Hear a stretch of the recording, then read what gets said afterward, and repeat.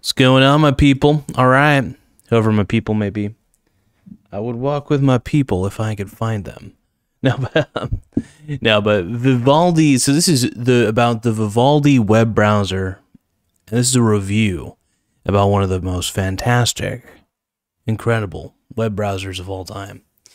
So what I want to talk about is the workspace feature and overall functionality. It makes it the goat.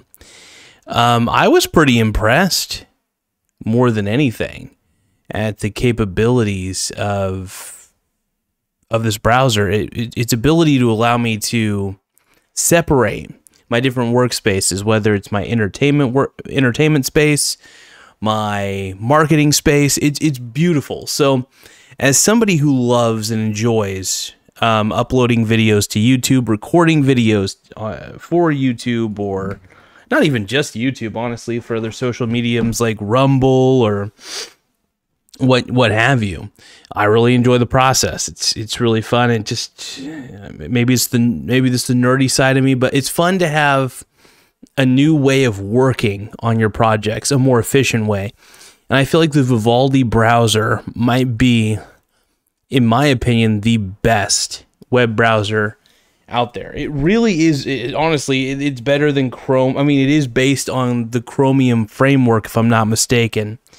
And um I wouldn't say I'm a browser expert by any means, but after all the reviews I had done, just looking through the different web browsers on what was the most productive, Vivaldi definitely took the cake, and I'm I want to spread the message and the word on the greatness of this incredible web browser. It's it's it's seriously. I'm stuttering a bit. I'm sorry, everybody. Um, but it might just be one of the greatest web browsers I've seen in a long time, and it's based on the Chromium framework. I'm pretty, I'm feeling pretty confident about that actually. The one thing I like about it, I was going to say the main pros about it are, and I've had trouble finding cons by the way. This is like one of the first times I've had a web browser that was so complete, and I. I don't even know if I'll, I'll try to come up with a con at some point, but here I'll go over the pros because all I can think of right now are positives for it. Um, the positives are um, it there's no slow load times whenever you have multiple tabs open. Um, tab transitions are very seamless when you're typing. Um, there's no delay. It all feels very fluid. Um, I think that this, I think Vivaldi does a really good job of memory management and processing management. So going between back and forth between the different tabs is seamless and you can have as many tabs open as you want. I will say I do have the benefit of working on a very, very incredible machine. It's an HP Envy. Uh, it's one of those that has a Core i9 processor, great video card, great everything, great memory, um, great basically great great RAM is what I mean. Um, it's like 16 gigabytes of RAM. You could even expand that, which is incredible. Um, but yeah, just incredible processing power. It's got um, the video process, the video card in there is like an NVIDIA. I don't even remember which NVIDIA type it is. There's so damn many, but it's really good. It allows me to process things very well. Just the whole computer is is uh, is another worldly experience. Also, one one terabyte hard drive. Anyway, I could go on and on about the specs of this computer, but what I really want to talk about is how incredible this this browser is. It's allowed me to be way more productive once I'm off. So when I'm working, I'm working on a different computer on my actual job. Um, and I consider this, I'm starting to consider this more of my own actual job as well, because this is a very performance based one. Um, being able to do a podcast, being able to uh, first off, I've always felt like I had the edge of doing broadcasting. I know that my, my father, uh, has experience in it. Oddly enough, it's really weird. Like I didn't when I wasn't when I was younger, I wasn't really interested in radio, but somehow I just I he and I we've got very technical minds, so we're really good about you know figuring out stuff with electronics and um you know we're both introverted freaks basically um and that's just it and we, I guess we like working with things more than people. I like helping people, but I'm really not that extroverted. I could be extroverted it's not my first option though. my first choice is seclusion or hanging out with a very very small group of friends. Um, that's, that's a good time to me. I don't know. Um, I'm very boring in the long run. Um, but yeah, overall, it's Vivaldi browser just unreal. And I think that it doesn't. I'm actually pissed that, and it's been around, I think, for a bit. Let me take a look at the. Uh, well, hell, let's take a look in Vivaldi itself. Hold on. Vivaldi browser wiki. I'm pretty sure there's a wiki uh, article for it. Oh, there we go. And it was really quick in Vivaldi. I should have showed you guys. That was actually a missed opportunity. Um, let me just play real fast. Window capture. I always, I never, I'm, I'm not prepared half the time with this shit. So this is Vivaldi. You're actually looking at an article about Vivaldi through the Vivaldi browser. So, um, so basically, what Vivaldi is is it, let's go with the official wiki page real fast. Is a freeware cross-platform web browser with a built-in email client developed by Vivaldi Technologies, a company founded uh, by Taksuki Tamala and and Jon Stephenson von whatever, who co-founded CEO, who is the co-founder and CEO of Opera Software. Vivaldi was officially launched on April 6th, 2016. Although intended for general users, it is first and foremost targeted towards technically inclined users as well, as former Opera users disgruntled by its transition from the Presto layout engine to a Chromium based browser that resulted in the loss of many uh, of its distinctive features. Despite also being Chromium based, I was right about the Chromium based, nice. Vivaldi aims to revive the features of the Presto based opera with its own proprietary modifications. Um, so basically, Vivaldi began as a virtual community website that re- replaced My Opera, which was shut down by Opera Software in March. Um, Jon, basically the original CEO, Jon was angered by this decision because he believed that this community helped make the Opera web browser what it was. And then da, da, da, da, da. So basically, he got kind of pissed off at management. Um, interesting. So let me see. Oh, decided on his own Yeah, I, honestly, um, so Vivaldi became the first web browser to be available for the Android automotive operating system used in the Swedish electric vehicle. Man. Oh wow, that's so cool. So like this browser really is. So I don't know, it's incredible. Vivaldi has a minimalistic user interface with basic icons. It, it honestly, I do. It is for very technically minded people, but it's also uh, just as great for the everyday ordinary user. The learning curve for this browser is very tiny. So you don't really there's not really much to learn. All you know is you got tabs, you got your this is um in fact I, I can show you guys right now. So as you can tell, you can see all my tabs. This is my production workspace, by the way. So as you can tell, I got my uh, affiliate master sheet YouTube content schedule. This is my this is basically where I come up with crazy titles, schedule YouTube videos. Um, I got like affiliate links, YouTube scheduler, upload defaults, show title, stuff like that. It's basically a way for me to archive a lot of interesting data that I use for the YouTube channel. Um, and then this is just where I this is this is where I come up with keywords. I, I basically search for keywords here uh, for YouTube videos, and then we got uh we got Opus Clip.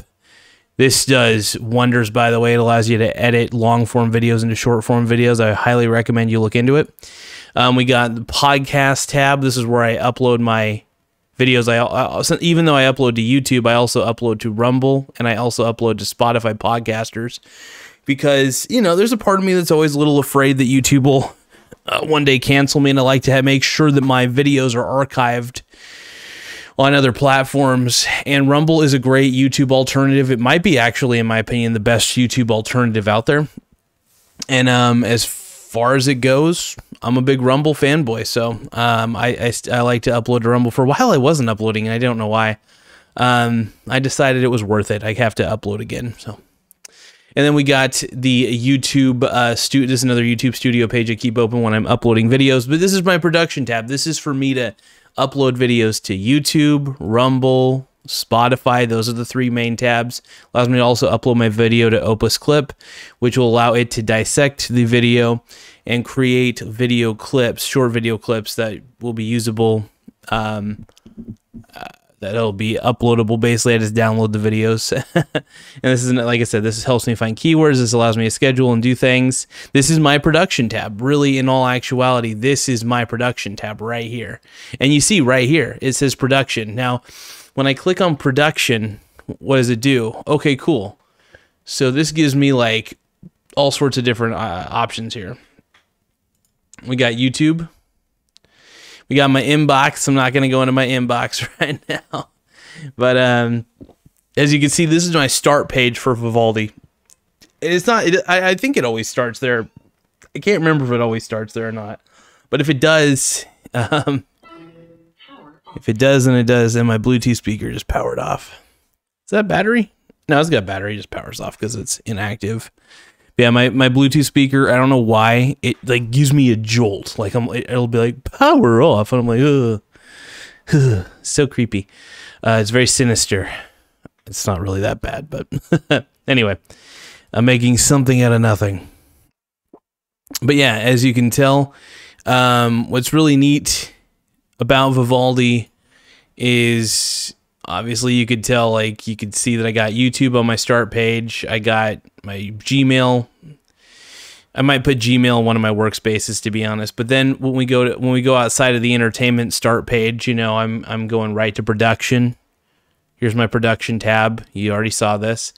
Here's my marketing tab. Um, I actually usually have more tabs open in this one, but only right now at the moment I got X, which Twitter sucks no matter what you do, but it's a good place to for me to basically advertise my channel to the best of my ability. Um, I thought about using Reddit, but they always they always tend to ban me every time I try to share my material, so that sucks. Um, so I've kind of given up on Reddit as a community. I've been looking into other social mediums that I might add as tabs to this marketing workspace. But yeah, it's really cool. You get to create, and it keeps the tabs, by the way, even after you close. So like, I'm not gonna close it now, but when you close and you open it back up, it'll have all of your tabs still there in the order that you want, everything that you want. It saves it and it keeps it there. Um, this is something that I feel like a lot of modern browsers lack is that ability to go back and forth, back and forth. So then we got um, so then our next one is we got like affiliate networks. This is happens to be my eBay one. Um, let's see. I'm not gonna. Be. I'm not gonna sign into it right now. But this like this is my affiliate networks. I don't really have many, so I'm gonna try to figure out how I'm gonna. I might even rename the workspace to like um, uh, marketing. No, because I already got marketing for trying to market to social networks. I, will figure out a name for this space soon enough. Yeah. And then we got education. This is for me to learn different things. This is really cool. It's really neat because I consider myself a, a, forever student. I will always try to learn new things, things that'll help me.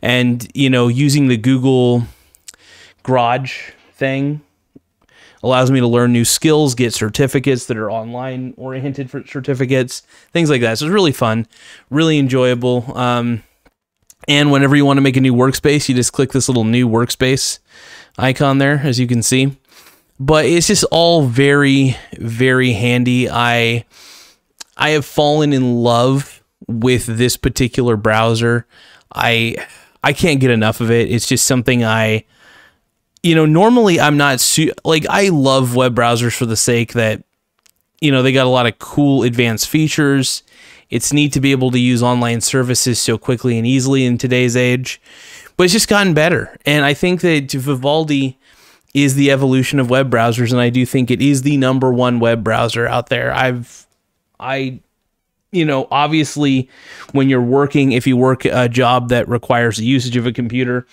you can't just tell your employer to start using Vivaldi. Which, if my employer told me they were going to start using Vivaldi, I'd be like, thank goodness. But no, we don't. We use a different browser. We use the standard browsers that everybody else uses, and that's fine. But when I'm doing what I need to do, um, whenever I'm for my show on my own personal computer for my own personal business, I'm using Vivaldi. You know, you can't, like I said, when you're at work, you, you have to use what IT tells you to use, and that's fine.